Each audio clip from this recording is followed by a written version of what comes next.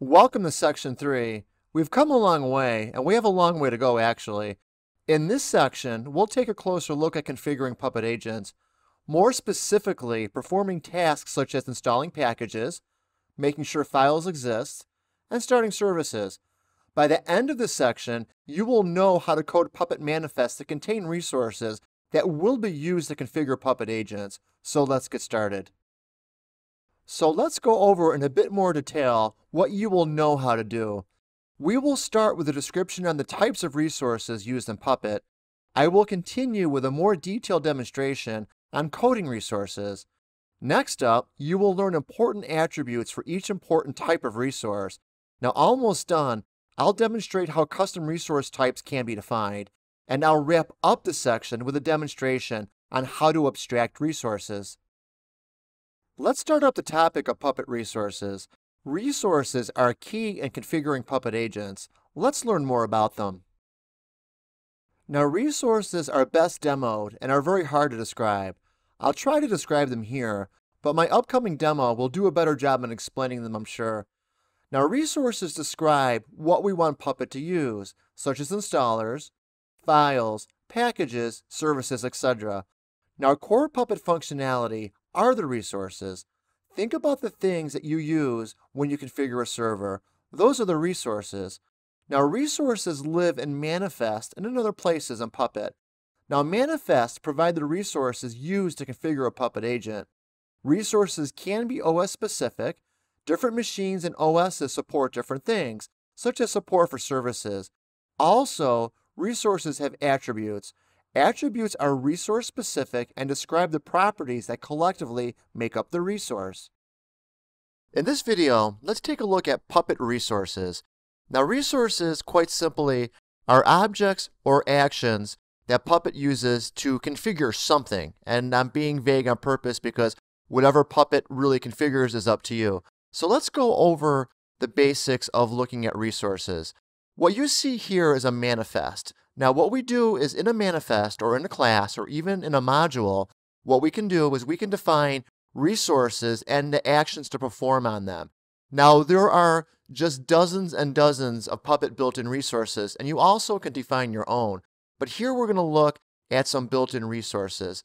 Now, basically, a built-in resource has two different parts. It has the resource definition, and it has attributes, and the attributes are the property that makes up that resource. Now, for example here, in this code example, we have a package resource. We have a service resource.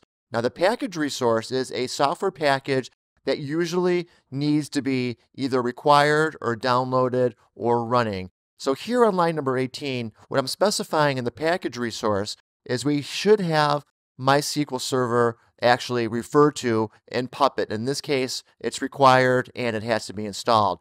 But also, we can have resources that explain or basically define something that needs to be running, such as on line 24, we have a service resource. So we have a package resource and a service resource.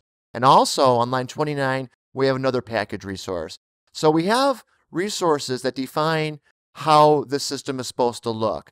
Now, they're usually divided in the categories. Like, for example, we have different kinds of running resources, such as a service resource, or maybe even like a daemon resource.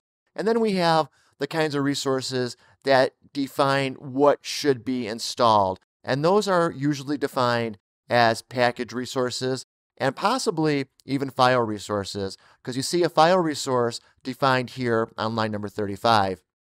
So on line 35, basically what I'm doing is I'm defining a file resource and I have the path in there, such as var www html info.php. And underneath that, I have some attributes or properties that define a little bit about that resource. So as I scroll up, we have some additional ones here. We have some installation resources, again, a package resource, a service resource, and on line number two, we have an execution resource. Now remember, resources don't always define something, they define things that can happen. So let me cut away and go to a Puppet agent and write some commands to look at some resources. If we want to take a look at a resource, we could quite simply just type in puppet resource, the type of the resource, in this case, the user resource, and the name of it.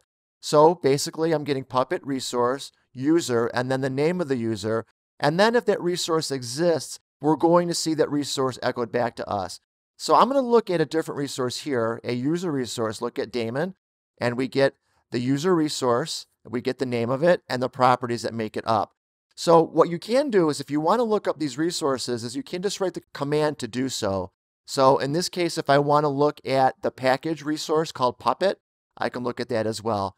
So if you want to look just in general about resources, a good command to use would be Puppet resource and just the generic help.